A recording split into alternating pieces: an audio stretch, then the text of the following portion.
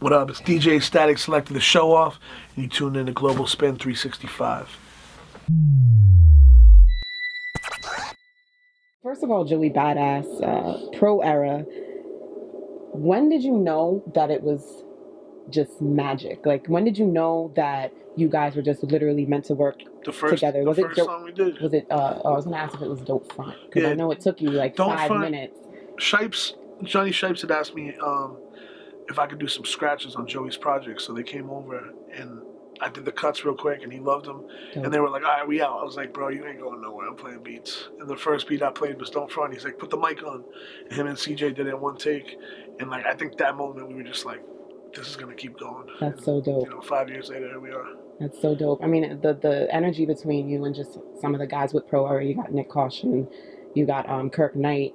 Um, the energy is just there. So, what's been a challenge working with Pro Era, Just if there is any? there's not really a challenge. It's just sometimes you know the, the age difference is quite the uh, the variable. You know what I mean? Like sometimes we get in, not arguments, but like this, we we uh, debate things, and it's like these kids are like 13, 14 years younger than me. So it's like I, I try to take their opinions in perspective, but I'm also like the uncle that makes sure they keep the hip hop guidelines. You know what I mean? Right. Because a lot of a lot of the kids now don't follow the rules I followed growing up, and it's why I'm here. You know what I mean? So I just don't want everything to get lost in the sauce through the years, where these kids just do whatever they want. They don't they don't acknowledge certain things in history. You know what I mean? Right. Some of these kids are spit. I'm not talking about them particularly, but some of these new cats are like, you know, like um. Like Jay Z says on the album, he's like Tupac.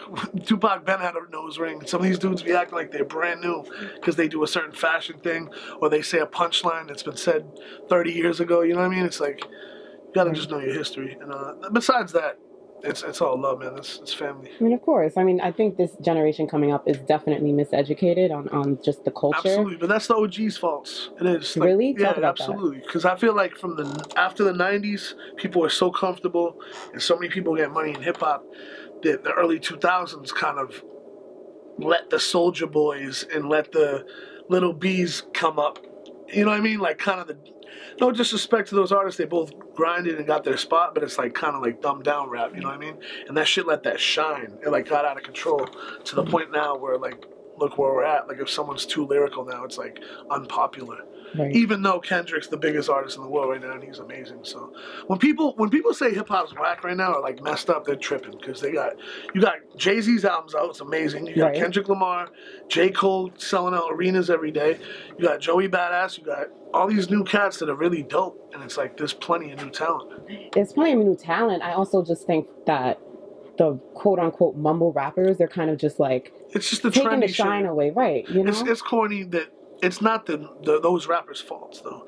It's the people that talk about them. And you know what? Mm. I'm a hypocrite because I I had my part in it for a long time. I would uh like on my radio show or wherever I'd be at Twitter, I'd talk shit about certain styles of rap. And now I think about it, it's like I should have just spent that time promoting what I love more because it's like half the people that complain on the internet don't promote what they actually love. So I'm Mm. I'm not obviously a victim of that because I promote everything I love, but Show I off. still could have been. Show my man. Sean C taught me that. Like he was like, "Yo, all the energy that you could put into being negative, like you, got- like he basically said to me, like we're lucky that we have that we're still here doing this. How many years later? Twenty something years later, we're both li- making not even not only making a living, but What's your doing secret really to well. staying relevant though? Because that's not an easy task. Like there's there's like a method respecting to the youth and also finding new talent. It's like Mm. I've been a, a major part in a lot of these guys' early careers, and um, that's moving through my whole career from the late '90s to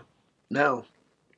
The list of people I've helped break is pretty long, so I just think that, and not acting like an old head, even though I get labeled it by some of the kids, but it's like it's all fun and games. But um, Right. just staying with your eye on the on the prize, really, and, and nonstop work. I still work harder than when I was 18. You know. Mm, definitely.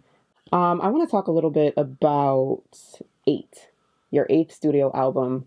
First of all, I'm happy to hear it because we all thought that the last one, Lucky Seven, was going to be the last project. Uh, Me what? too. I know. Well, I'm glad it isn't. Thank goodness. What is your inspiration behind this? Well, it was gonna be my last solo album, like like co- Oh. compilation style. I didn't say I was gonna stop making albums. That's my my livelihood. right. But I wanted to do more like artist collabos and stuff. I'm still doing that. hmm I think certain fans, because I got like real, I have a lot of underground fans, and I got some of the more mainstream ones. But some of the underground fans are like, oh, here you go, you signed to Roc Nation, and now it's 2 Chainz and Wiz. It's like, no, I'm progressing as an artist. But guess what? I got Westside Gunn and Conway on the album.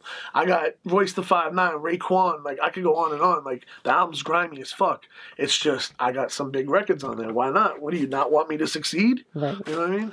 What would you say to an up and comer who wants to do what you're doing and kind of maintain the the culture and, and keep it going? Just do your homework. Some of these generations now act like it's corny to learn.